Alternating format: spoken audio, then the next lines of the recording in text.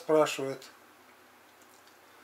«А, вы забыли сказать, что в конце нужно сделать специальное действие, иначе кишечник будет действовать как сифон. Это после шанг пракшаланы. Я там сказал, что после шанг пракшаланы я лично не знаю никаких действий. После нее, а, как все это у нас, как бы сказать, прошло и чувствуете процесс, как бы сказать, заканчивается.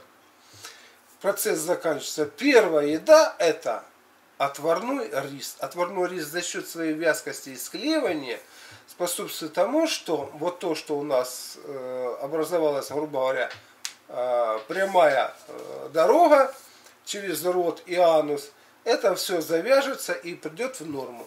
То есть любое действие, видите, что такое шант пракшалана? Вообще вот действие мы вызываем с помощью воды и упражнений ненормальную работу э, желудочно-кишечного тракта. То есть мы его промываем, нам надо промыть. Для этого вот он нормально работал, надо, значит, вызвать соответствующее действие, соответствующую энергетику, которая бы вот так вот подействовала. Это нам надо. И мы запускаем этот процесс, и он пошел. А потом он пошел, понимаете, и вот он надо остановить. Иначе дальнейшая еда, которую вы будете есть, вот мы его открыли, все эти сифоны, и он погнал, будем говорить, э, по накатанной дорожке всю эту еду не усваивать, а выбрасывать из нас.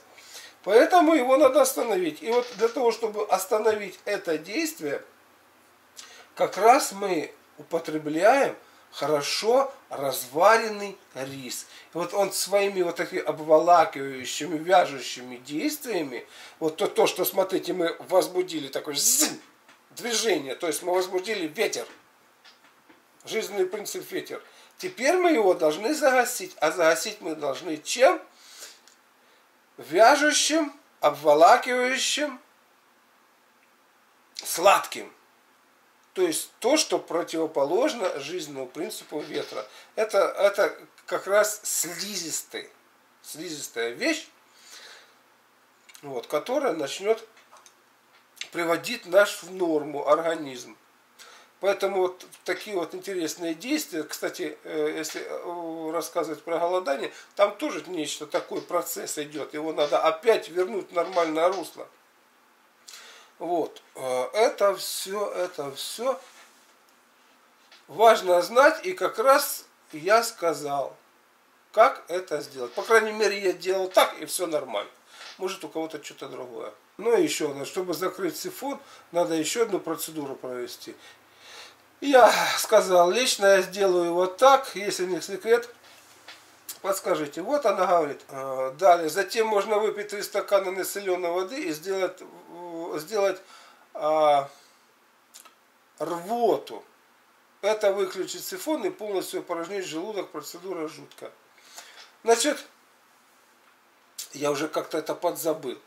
А, действительно, я раньше что-то такое делал. А, это в самых первых а, рвоту. Но я считаю, это не важно. То есть, вот смотрите, что тут получается.